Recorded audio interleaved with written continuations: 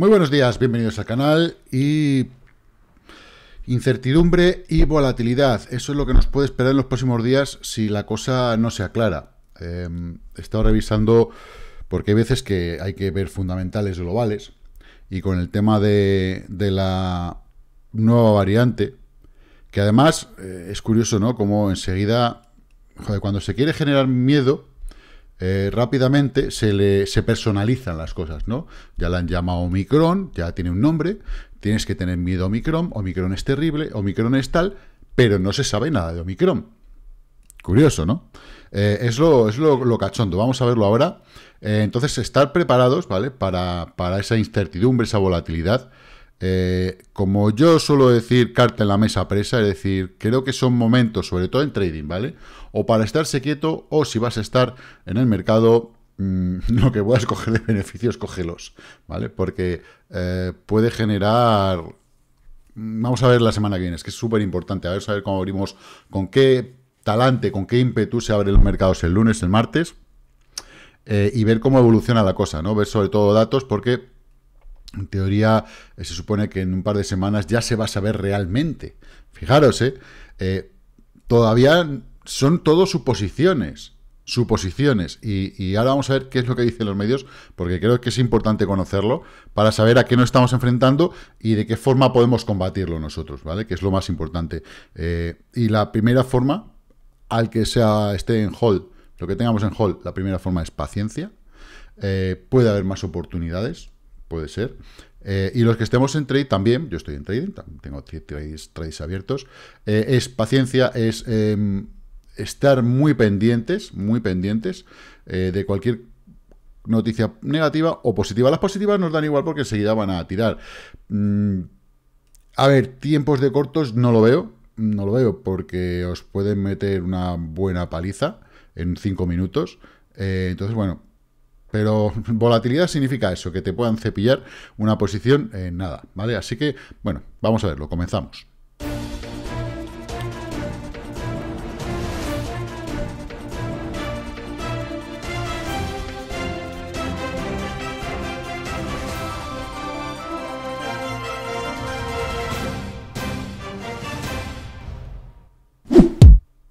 Suscríbete y dale a la campanita. Bien, pues suscríbete y dale a la campanita. Vamos a ver en varios medios, sobre todo me, ha parecido bastante interesante y muy bien resumido un poquito lo que decía ABC aquí en este, en este mm, artículo. Em, bueno, lo titulan de momento la vacuna contra la nueva variante Omicron estará lista en 100 días.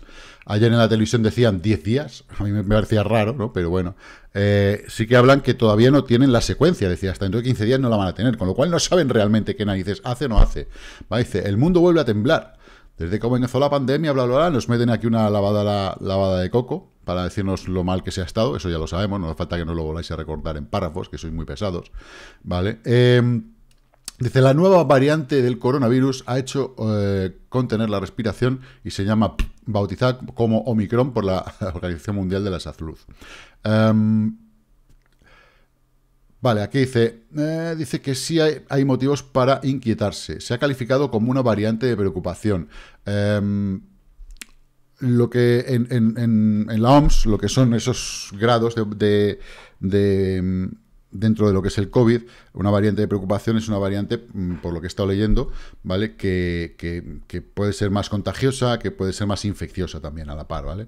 Em, bueno, la, la presidenta de la Comisión Europea se ha pedido que, los fabricantes ya empiecen a adaptar las vacunas directamente a, la nueva variante. Pues eh, han dicho, sí, sí, podemos eh, eh, adaptar las vacunas, pero hostia, que eso lleva su tiempo. O sea, 100 días, 3 meses, más o menos, ¿vale?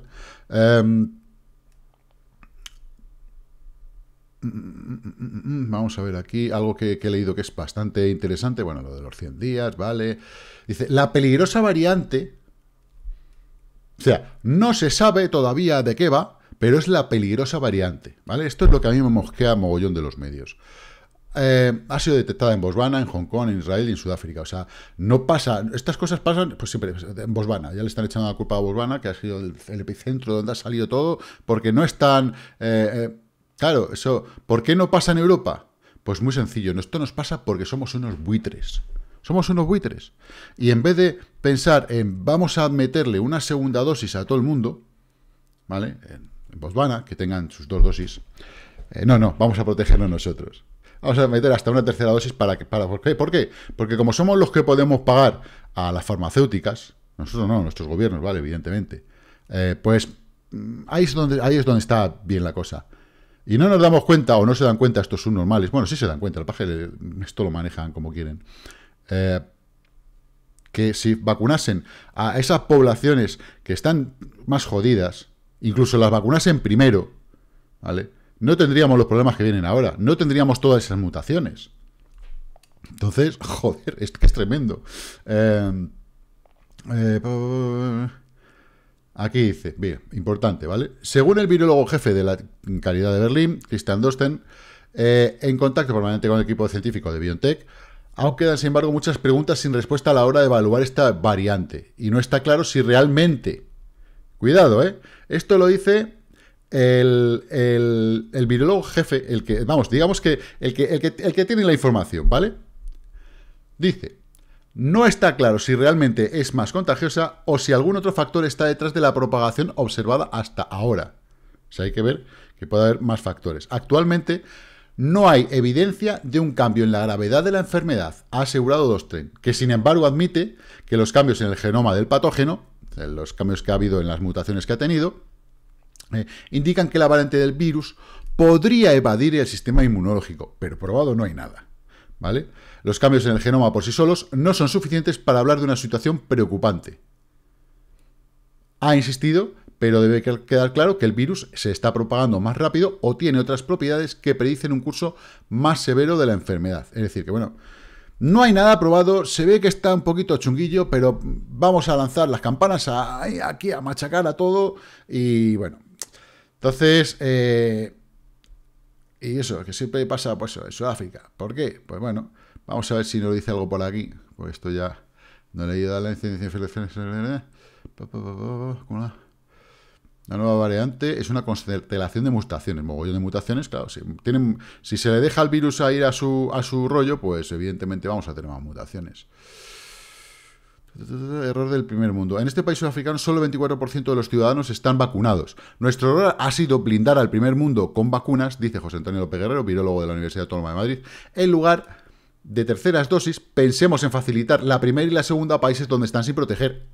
Eh, esa es, esa es la, solución. No, venga, vamos a inflarnos a más vacuna, más vacuna, más vacuna. Yo personalmente eh, estoy con Janssen, es decir, tengo solamente una. Estoy esperando que me digan pues cuando me pueda tocar la, la, siguiente esa de refuerzo que supone que nos tenemos que meter. Eh, pues me la voy a poner, evidentemente, como tu hijo de vecino, porque creo que es lo que hay que hacer es mi creencia, habrá gente que crea que no, eso ya allá cada uno eh, con lo que haga. Ahora bien, si no te vacunas y luego resulta que tienes que ocupar una UCI y le dan preferencia a alguien que se ha vacunado a alguien que no se ha vacunado, allá cada uno, ¿no? Esto es, esto es al final lo que, lo que pasa. Es la realidad de lo que nos vamos a encontrar. De, momento ya estamos viendo que el que no se haya vacunado va, a empezar a tener problemas de movilidad.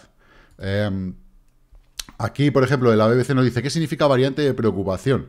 Dice que es la categoría más alta dentro del listado de variantes COVID creado por la Organización Mundial de la Salud. Entonces, bueno, he estado pegándole cuatro vueltas a todo esto y si los medios están de esta manera, van a estar intentando eh, sacarle eh, todo el jugo que puedan a, esta noticia. ¿Por qué? Porque eh, los periodistas que, mm, que tanto han atacado, y esto es algo, un pensamiento personal, que tanto han atacado a los youtubers, ¿Vale? Porque han sido los periodistas, o sea, esto no ha sido, no es que Hacienda, es que tal, es que fíjate dónde se van, si se van 10 youtubers, se van ahí a Andorra y ya, ¡guau!, se ha salido la de Dios. Em, lo que pasa es que se están equivocando con la forma de comunicar. Y claro, eh, a los chavales, esto, esto no lo leen. Gente joven, esto no lo lee, pasan olímpicamente esto.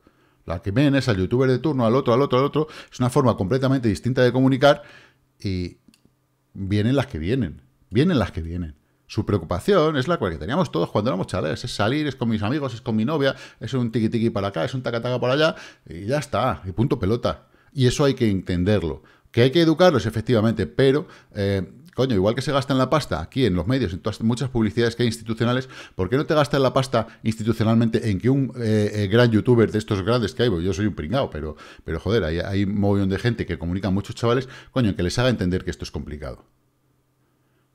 Ah, porque eso sería eh, reconocer que pues todos estos periodistas se están equivocando. Con todo mi respeto, ¿vale? A la mayoría de los periodistas. Pero es que hay algunos que son para echarles de comer aparte. ¿Vale? Y em, dice España, sin ningún caso detectado por ahora en Omicron, mentira, se ha detectado uno. Eh, y eso que esto está actualizado, manda cojones para fiarse. Eh, bueno, entonces. Mmm, por el temor, temor a Omicron, temor, ya tenemos la palabra temor, temor, miedo, virulencia, es chungo todo, es muy malo. Vamos a ver, vamos a ver qué, cómo acaba todo esto, pero mm, vamos a tener, por eso lo he titulado así, un poquito de volatilidad, un poquito de incertidumbre. De momento, de momento, el día de hoy, se lo está tomando también muy relajadito el Bitcoin. Eh, ayer inició una caída, estaba en la zona que decíamos, después ha venido la línea de tendencia, ha rebotado, está, esperando a ver con qué, mm, con qué ganas abren los futuros del CME, ni más ni menos, ¿vale? Eso es lo que está. Entonces, para, para ver, para intentar ver hacia dónde podemos seguir yendo, nosotros, pues podemos ir a los futuros del CME y hacerles un pequeño análisis. ¿Qué han hecho los futuros del CME? Fijaros, tocaron aquí y empezaron a rebotar. Luego tiene una vela que abraza a la anterior en cuatro horas.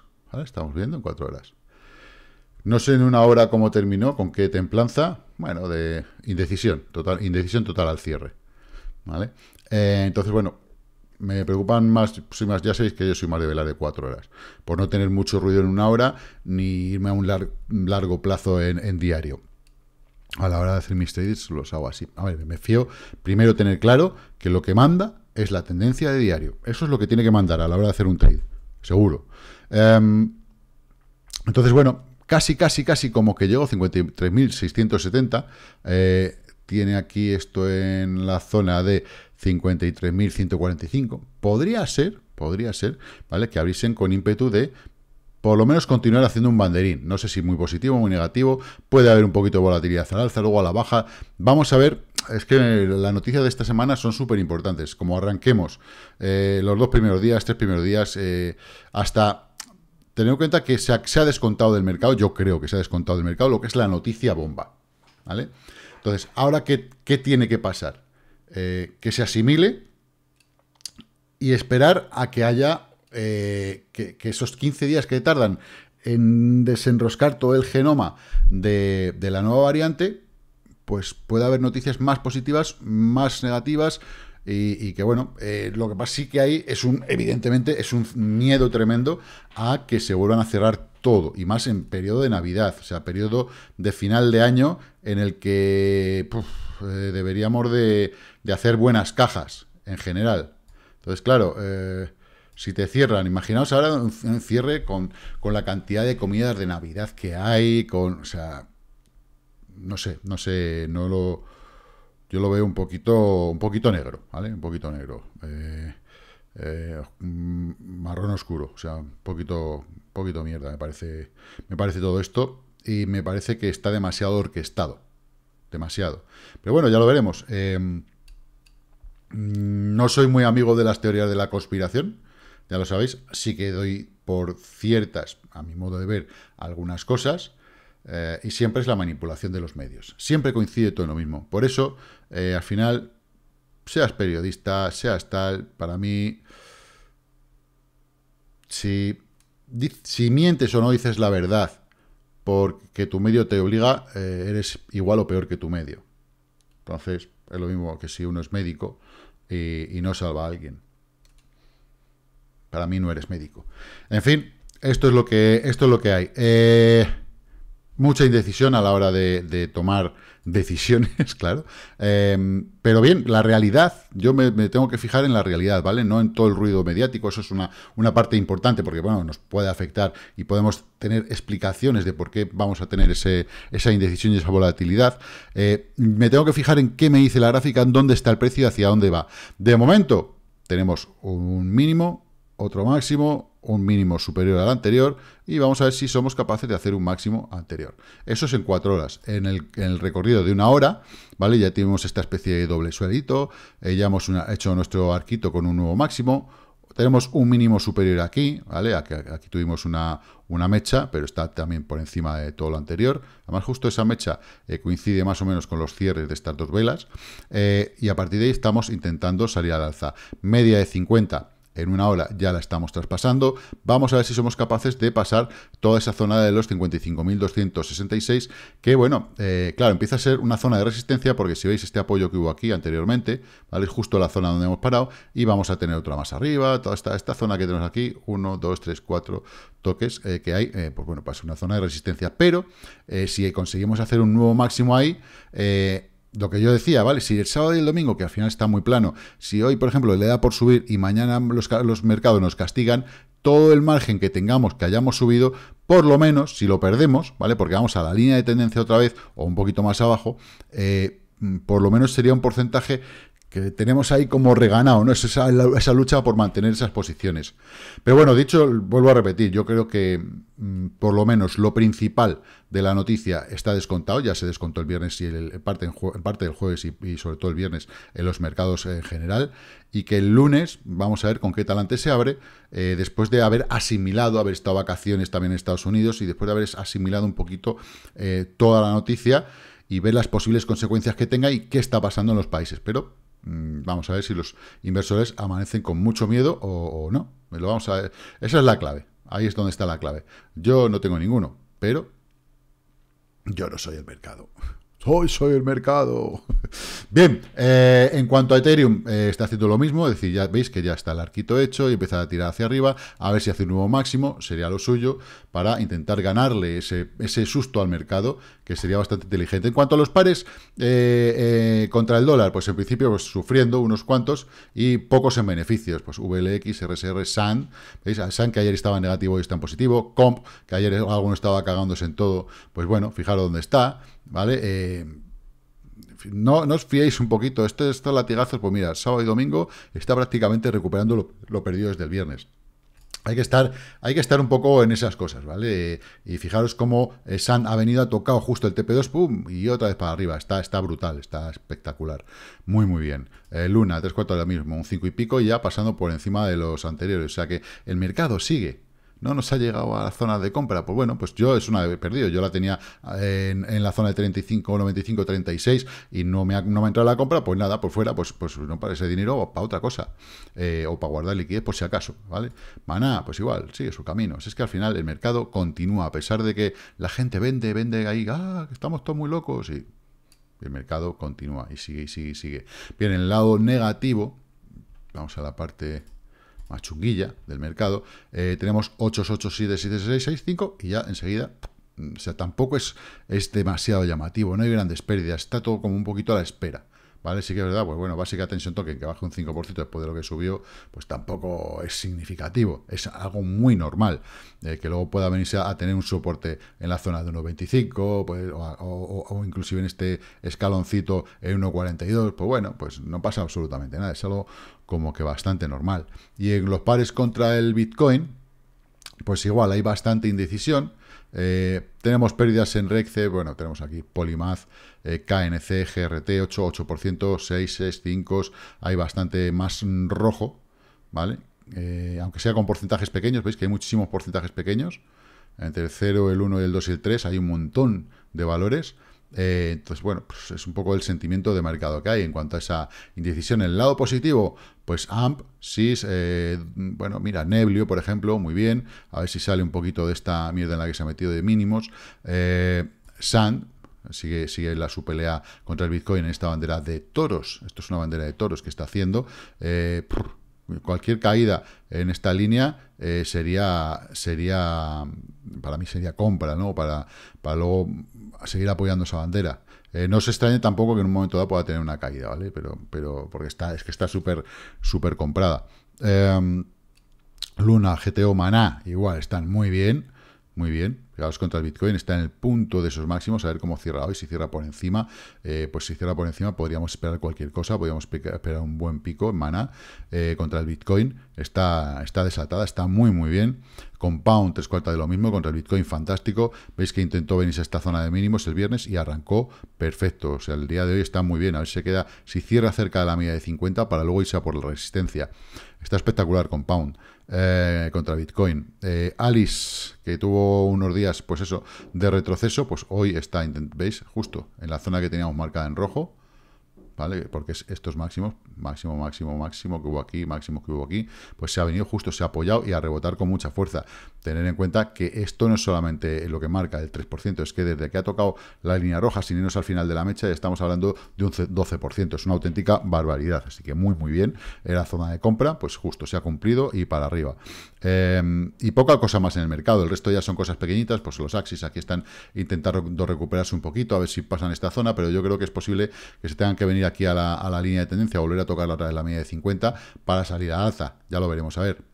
Eh, de momento, eh, cada vez que han, vamos a, verlo, ¿veis? Eh, cada vez que desde este punto se apoyó aquí, pues, tienen una caída, suben y el arco. Entonces aquí igual una caída, suben y pues bueno, ha intentado hacer el arco, pero como este día se cayó, en vez de hacerlo en forma de arco, pues lo ha hecho en forma de un arco negativo. Pero al final posiblemente tenga que venir, perder un poquito, igual que hizo aquí, ¿vale? Perder un poquito la media de 50 y tocar aquí en, la línea de tendencia, o quizá esta vez ya se vengan a la media de 100. Pero bueno, ya lo veremos, a ver. Eh, cualquier pase de la zona de 24.90 se iría ya a la siguiente, al siguiente escalón, ¿vale? Seguro. Si, si eh, en cuenta que tenemos mínimos ascendentes, ¿vale? Aquí tenemos un mínimo, aquí tenemos un mínimo, aquí tenemos una zona de mínimos. Eh, si aquí este hace un mínimo realmente y se va otra vez hacia arriba, pues mm, intentará buscar hacer un máximo, cosa que no ha hecho todavía aquí. Pero viendo esta, esta forma, puede hacerlo eh, de forma un poquito distinta. Podemos incluso lateralizar aquí y luego ya irse al alza. Ya veremos a ver cómo, cómo análisis lo hace. Eh, bien, dicho esto, terminamos con Bitcoin, que ya me he enrollado mucho para hacer un análisis mañanero, eh, intentando en una hora hacer una vela verde por encima de la media de 50. ¿Qué hemos hecho? Pasar la media de 50, ¿vale? Apoyarnos en ella y bueno, pues ahora intentar empezar a crecer por encima de la media de 50, que es el objetivo. Si la perdemos, pues ya sabemos, seguramente besaremos otra vez la línea de tendencia. Eh, así que así poquito a poquito, hay que, ir hay que ir tirando de poquitos porque tampoco nos podemos ir demasiado al mercado 54.556 estamos y cerraron los futuros, eh, lo vemos en 4 horas, eh, 54.425. O sea, estamos ahí con una diferencia que es eh, inapreciable a la hora de abrir. Pues vamos a ver qué pasa desde aquí hasta esta noche en la que nos veremos. Así que, chicos y chicas, mucha paciencia y como digo siempre, invertir con mucha cautela y que la paciencia os acompañe.